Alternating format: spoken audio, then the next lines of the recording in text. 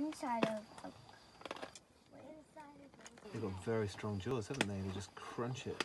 Ready?